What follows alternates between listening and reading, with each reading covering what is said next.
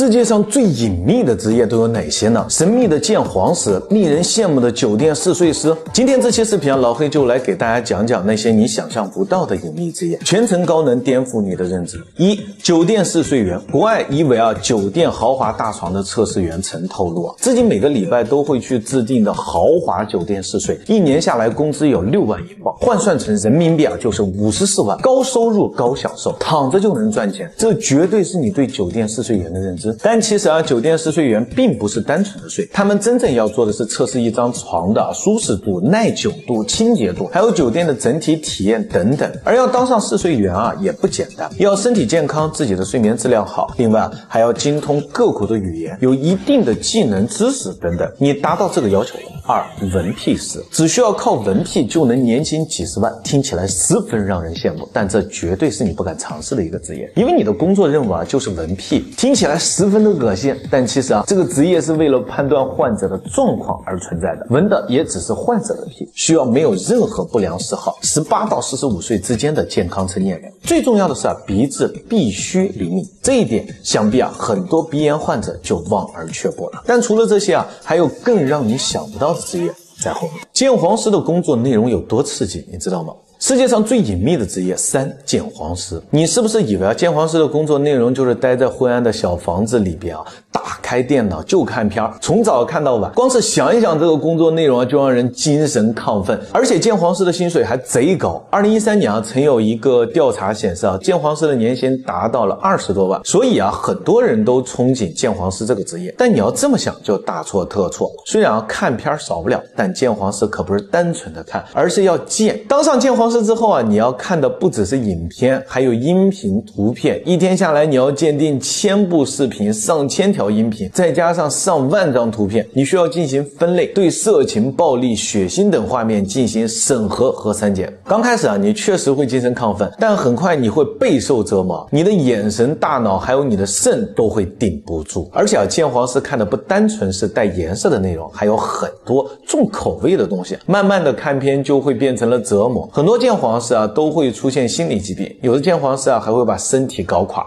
而且当鉴黄师也并不是人人都可以啊。首先就要了解世界各国的淫秽色情信息的认定标准和相关法律，还要有鉴别和审核能力。所以对学历也有着要求。更重要的是啊，现在大部分的鉴黄师都在编，要当上鉴黄师啊，那是相当不容易。那么除了鉴黄师，世界上还有哪些不为人知的职业呢？六大最隐秘的职业是陪睡师啊。你没有看错，就是陪人睡觉的工作。但你千万别想歪了。真的是单纯的陪人睡觉，所以啊，这个职业还有一个更高大上的名字，叫睡眠治疗师。这个职业啊，最开始出现在日本，有人发明了这个职业，帮助失眠的社畜入睡。睡眠师啊，会在睡觉的时候用拥抱或者是 ASMR 来哄客户睡觉。他们有非常坚定的职业操守，只会陪睡，绝对不会发生其他的关系。五捉奸人，说好听点，这个职业啊，有另外一个名字啊，就是叫私家侦探。相信很多人在电视剧中看到过这个职业，其实现实中啊也有。有捉奸师曾透露啊，自己接一次委托就能赚四万多人民币，而他们要做的就是替委托人收集出轨的证据，然后捉奸。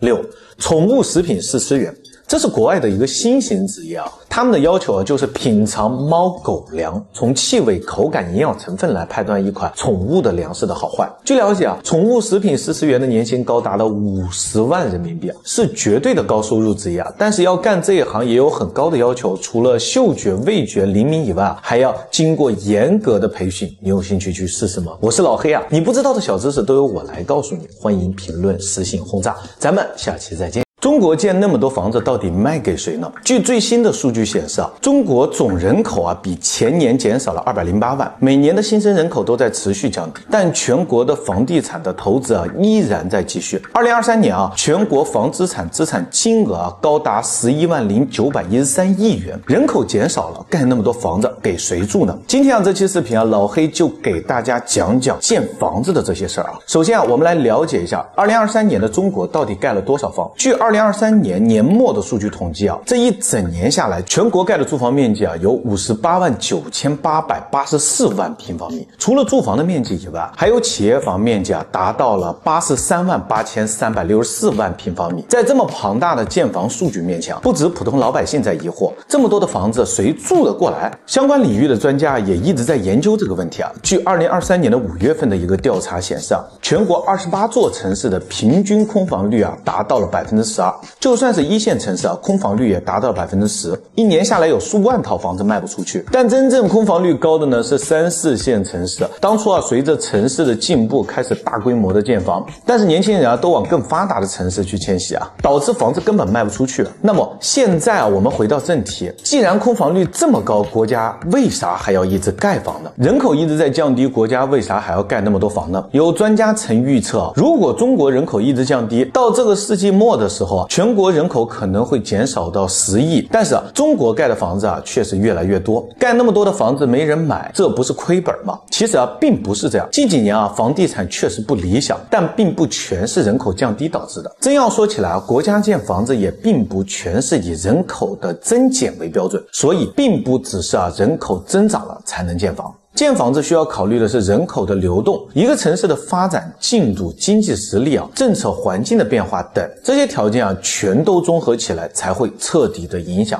建房市场。这么说可能很多人还不懂啊，那么老黑就简单给大家举个例子，比如啊，虽然全国人口在下降，但是某个城市并没有，这个城市不管是经济啊还是人口都在提高，在这种情况下，老百姓依然有买房的需求，所以这个城市就需要不断的建房来满足人们对住房的期望。另一方面来说啊，不只是本国老百姓对住房有需求，随着国家实力的增长啊，很多外国人也会选择来咱们国家买房，所以啊，建房也是一种体现国家实力的表现。但是也有人说啊，现在很多人宁愿租房也不买房，所以盖再多的房子以后还是没有人买，真的会是这样吗？中国盖这么多房子卖给谁？首先大家来跟老黑看一组数据啊，二零二三年啊，全国租房子的人数啊达到了二点六亿人，而二零二三年卖出去的房子啊只是有三十。七万套租房子住的人啊，远远超过买房子住的人。而在买房子住的人里啊，三十岁以上的人占比更高。这就是现在国内买房的现状。国家盖这么多房子啊，虽然不是没人买，但买房子的基本上都是八零后、九零后的那一批。他们